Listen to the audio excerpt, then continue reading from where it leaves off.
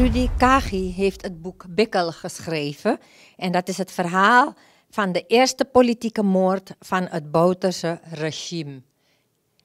En daarover wil ik vandaag praten met de heer Rudy Kagi.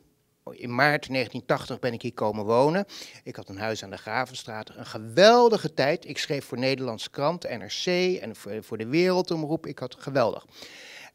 Dat liep allemaal uh, goed, totdat ik uh, hoorde bij geruchten dat er een in Nederland wonende Surinaamse oud-adjudant, genaamd uh, Fred Ormskerk, was opgepakt hier in Paramaribo, omdat hij een staatsgreep zou willen plegen. Een soort contracoup, zeg maar. dat was mei, begin, de 2 mei 1980 dat ik dat hoorde. toen heb ik gebeld met de woordvoerder van de Nationale Militaire Raad. Dat was de heer uh, Jozef Slagveer. En ik zeg uh, tegen meneer Slagveer, ik hoor dat uh, Ormskerk is opgepakt en dat die is overleden. Wat is er aan de hand? Um, Daarop was het antwoord dat ik heel erg moest oppassen en dat ik me er beter niet mee kon bemoeien, want het lag zo gevoelig. Ja, maar ik wil toch eigenlijk, hè, hij heeft uh, Ormskerk ook de Nederlandse nationaliteit en ik werk voor Nederlandse krant, dus ik wil eigenlijk toch wel graag weten wat er is. Toen zei hij, nou dan ga ik het voor je uitzoeken, maar dan moet je ook zelf weten wat er gebeurt.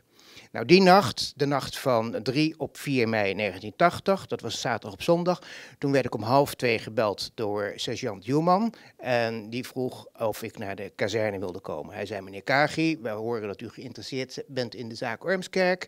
En uh, wij willen daarover graag met u van gedachten wisselen. Toen eh, werd ik opgehaald door een jeep en overgebracht naar de Memro-Boekel-kazerne. En daar zat de voltallige Nationale Militaire Raad onder voorzitter van uh, Daisy Bouterse. En uh, ik moest daar plaatsnemen en toen stond er een bandrecorder op tafel. En toen dacht ik, nou, van gedachten wisselen, dit is natuurlijk gewoon een verhoor. En dat was het ook. Dus uh, de vraag was uh, van wie ik het verhaal gehoord had over Ormskerk. Wat mijn, van wie had u het gehoord? Dat herinner ik me toen niet en dat herinner ik me nog steeds niet. ik ben slecht van geheugen, dus ik heb dat niet, niet verteld. En het gesprek werd buitengewoon onplezierig. Dus ja, er vielen harde woorden. Geïntimideerd? Ja, ja en, en ook wel bedreigd bedreigd, bedreigd met, uh, met, met uh, de dood. Ook als ik in Nederland zou zijn en ik zou hier iets mee doen, dan zouden ze me weten te vinden. Het was niet... Maar ik moet u wel zeggen, uw geheugen is niet slecht, want u hebt een heel boek kunnen schrijven na zoveel tijd. Dus ik geloof het antwoord niet. U hebt het van iemand gehoord, maar om veiligheidsredenen wilt u het niet zeggen? Dat noemen ze ook wel een selectief geheugen. Een selectief geheugen. Dus je wilt bepaalde dingen wil je uh, graag herinneren. En dit is, maar ik zal u zeggen, dit heeft er bij mij ingehakt, deze ervaring. Het is eh, dus zeg maar alsof je een hond aait, want ik was heel positief over eh, de ontwikkelingen. Alsof je een hond aait en die bijt ineens in je hand. Zo was het eigenlijk. Ik moest om uh, vier uur s'nachts op een bankje gaan zitten, buiten. En uh, om twaalf uur kwam uh, de bevelhebber uh, en die zei, oh meneer Kagi, zit u er nog? U mag gaan, maar u mag niet over deze zaak publiceren. Het is staatsgeheim. En zoals u weet loopt het met mensen die staatsgeheim schenden slecht af.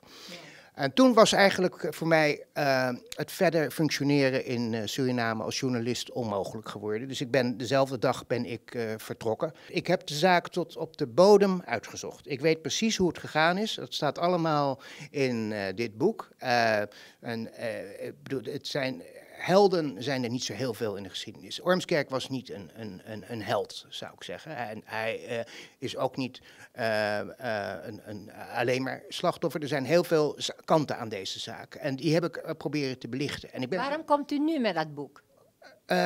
omdat ik in toenemende mate dacht van, ik, wil dit, ik wil dit uitzoeken. Mevrouw, deze zaak heeft mij 33 jaar dwars gezeten. Ik wil het uitzoeken voor mezelf.